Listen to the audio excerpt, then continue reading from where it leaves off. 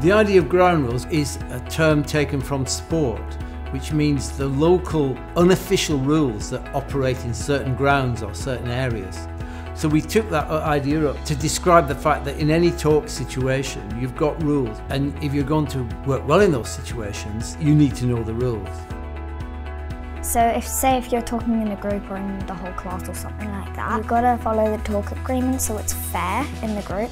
So one of the talk agreements is don't try to become the leader of the group. You have to like like Sylvia said, make it fair. So what is it that makes a good discussion? What do you do to make sure you have a good discussion? I'm going to show you a set of things we call ground rules for talk make sure the children know what you're doing, that it's up to them, isn't it, to do the discussion. And if they have the right awareness of what it's all about and the point and purpose of reasoning together, then you're much more likely to, for them to be able to make it work for themselves and each other.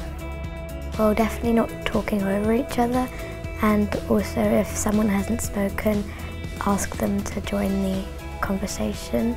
So everyone can contribute. The idea is that the children themselves are responsible for their own volume and that could be one of their ground rules if you like. It's not random talk or casual talk. The talk children expect to take part in is purposeful and focused on the task in hand.